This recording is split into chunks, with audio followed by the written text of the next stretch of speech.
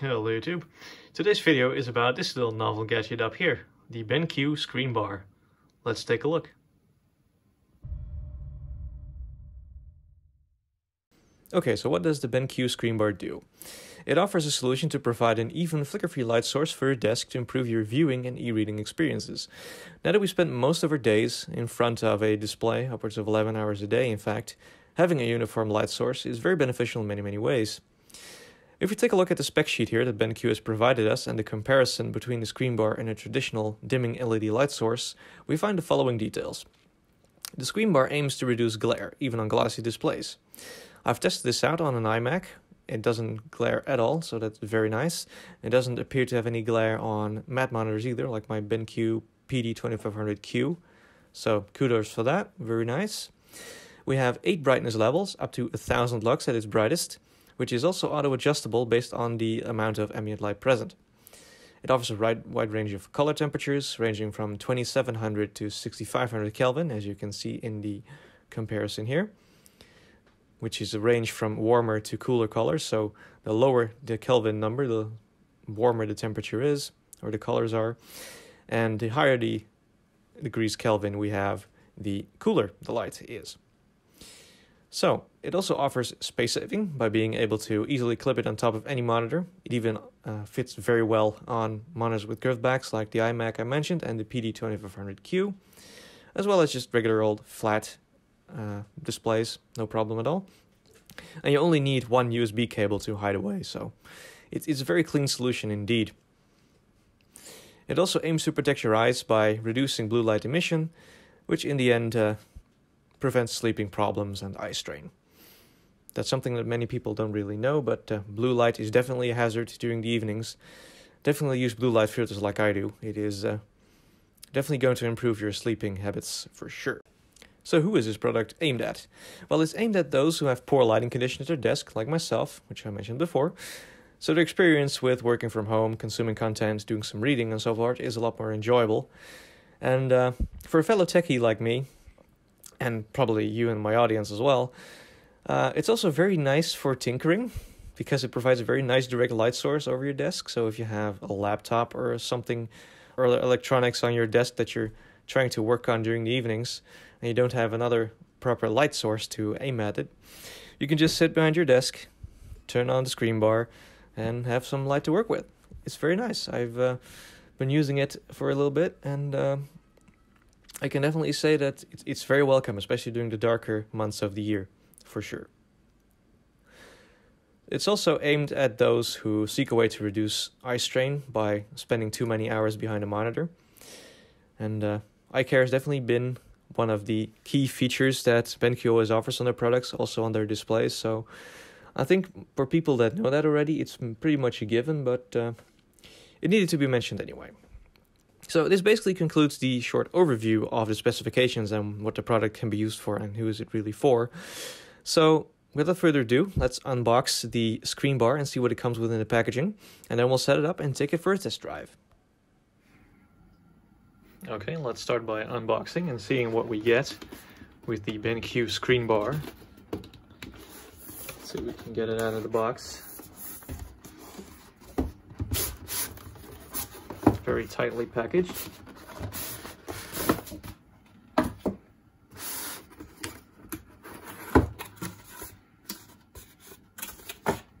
Alright.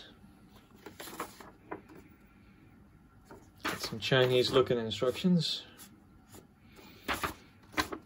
Whatever this is for, let's put that aside.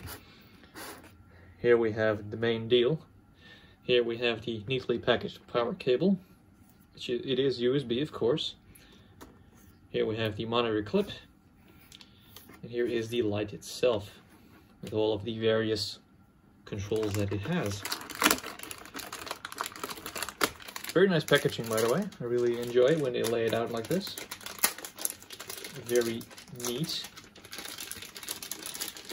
Just unwrapping the USB cable here. It's pretty darn remarkable. It's just a USB cable.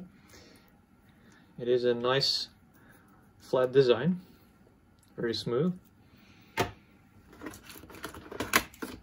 here we have the monitor clip. It is very heavy. This is definitely a high quality piece of kit. This appears to be plastic. There's a very big amount of weight in here. This is probably the counterweight, so the monitor, uh, the light bar won't actually fall off of the monitor, so very nice. And here we have the light bar itself. Let's slide it out.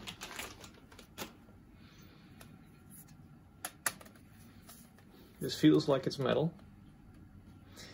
Here we can see all of the individual LED segments that this thing is comprised of.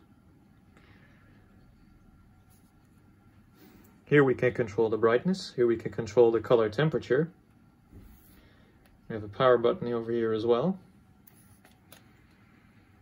Neatly covered in plastic. It's probably piano finish under there. And yes, it is.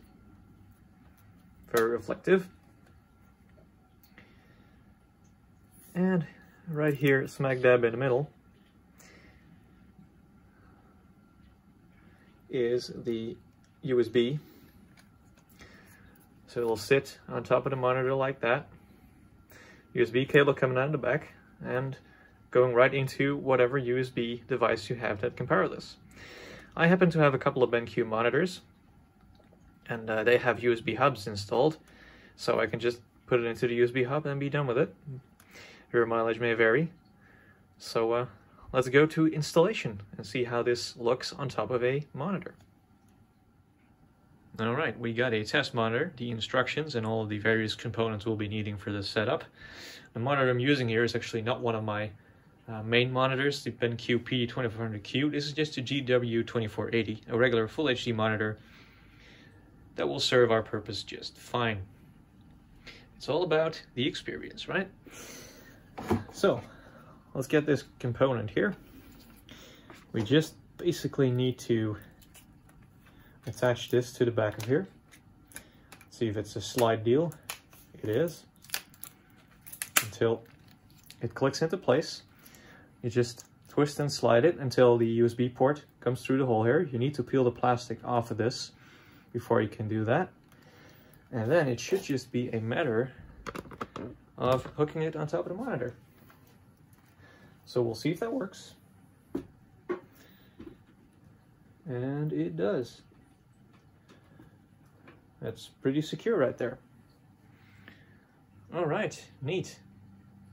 Now I need to leverage some USB power and we'll see if it works. All right, we're good to go for the test run. So let's press the touch sensitive button on the top. And there we are. Now that is quite bright, if I say so myself. Let's change the brightness settings. We can't push, we can't hold it, we can just go through it. Now it goes up and now it goes down again. Let's see, this is the brightest setting. Yeah, this is brightest.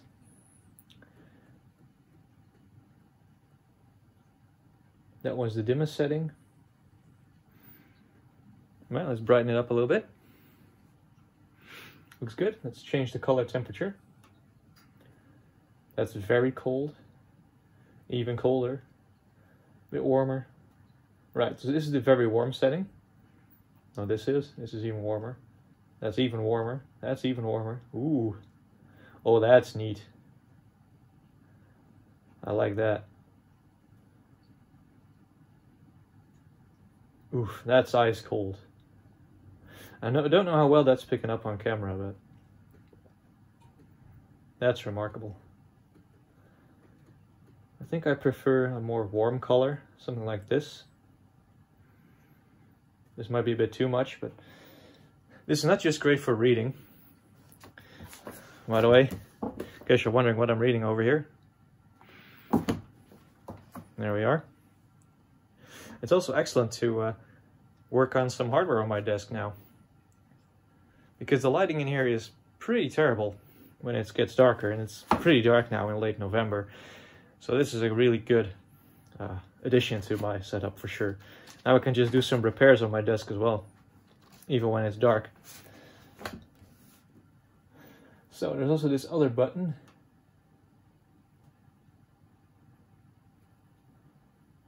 Which I'll actually need to check what it does. It goes brighter for a second, then it goes dim again.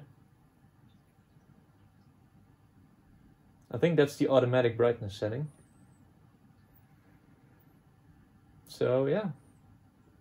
And the button on the right turns it off again. So this is the base brightness when it's all the way turned off with our crappy background lighting.